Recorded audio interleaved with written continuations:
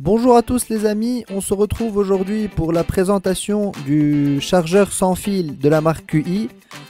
Je vous ai déjà présenté cette plaque de chargement sans fil euh, il y a quelques mois, mais je, ne pouvais pas faire le test complet car je n'avais pas le petit adaptateur que vous voyez en bas de l'écran que je viens de recevoir.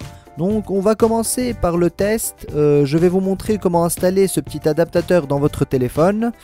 Et ensuite, il vous suffira tout simplement de poser votre téléphone sur cette plaque de chargement de la marque QI, comme je l'ai déjà dit. Et vous verrez que ça fonctionne vraiment parfaitement bien. J'ai ce produit depuis quelques semaines maintenant, même quelques mois. Et je peux vous dire que je l'ai bien testé, donc euh, je l'utilise quotidiennement et ça fonctionne vraiment à merveille.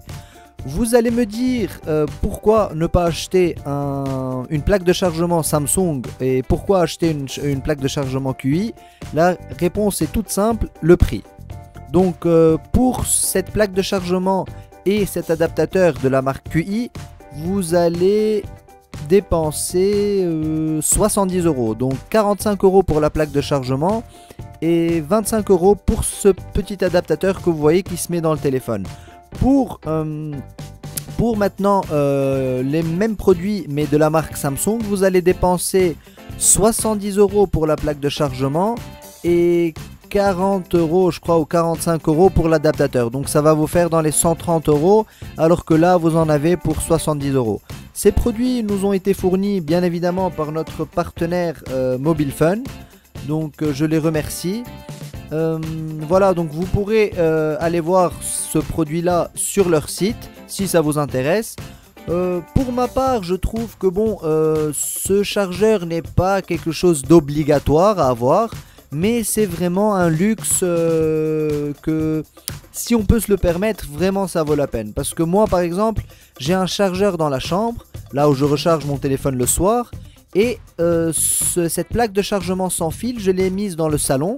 Et dès que je rentre dans la maison, dès que je rentre à la maison, direct je pose mon téléphone dessus, il n'y a pas besoin de câble, quoi que ce soit, quoi que ce soit pardon, je pose mon téléphone dessus et hop, ça se recharge directement.